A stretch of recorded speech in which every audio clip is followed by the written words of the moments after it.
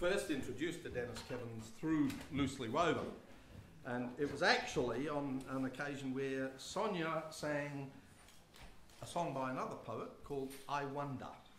And Jill had done a beautiful arrangement of that. And Sonia had picked up on that poem and the song from Denis because Denis was very interested in this uh, poet called Henry Weston Price.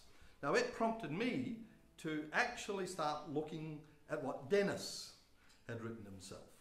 And there's a huge volume of material, and I believe a huge volume that hasn't actually got out, that's in the home and needs to be looked at. Um, and I guess one of the characteristics of Denis's poetry is you, you saw the duck shooter, so you can imagine what his uh, mind was a little bit like there. Uh, but on the other hand, he also looked at uh, very serious industrial relations, environment issues, and wrote about those. He was very passionate about nature, and I was quite curious about the way that he thought.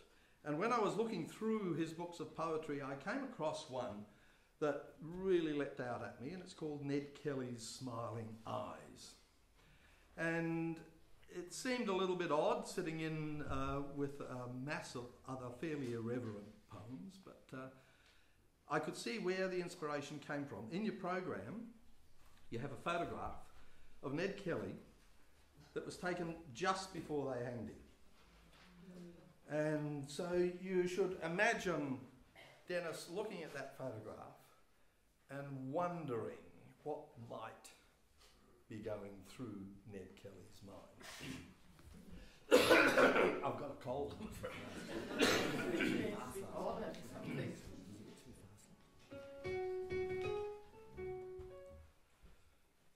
When looking at a photo just before they hung him dead, the first thing that you notice are the smiling eyes of Ned.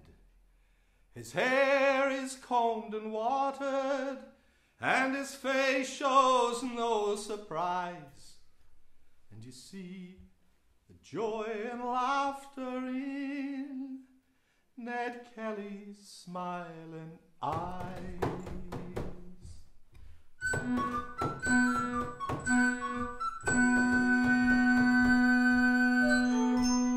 Those eyes had seen the hell ships and the hunger of their times. They'd seen the Cromwells talking of the Cromwells and their crimes. They'd seen the squatters snarling, they had scanned the morning skies when ranging through the mountains had Ned Kelly's smiling eyes.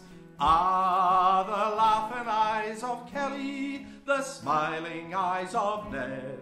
The proud look at the hangman, the tears he never shed. The laughing eyes of Kelly, with a light of Irish skies. And those who fight for justice have Ned Kelly's smiling eyes. They'd seen the troops of swagmen tramping on from field to field, looking for a bunch of colour in the cards that fortune deal. They'd face the flame and fire,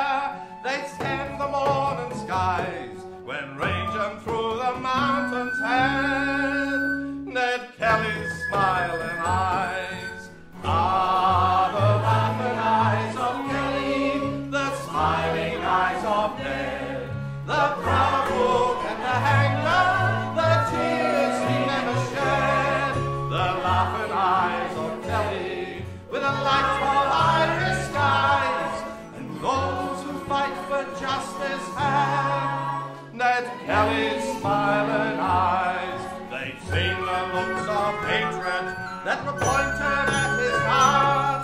They flashed a spark of courage, and the darkness did depart. They'd faced the flame and fire, they'd scanned the burning skies. They'd learned to love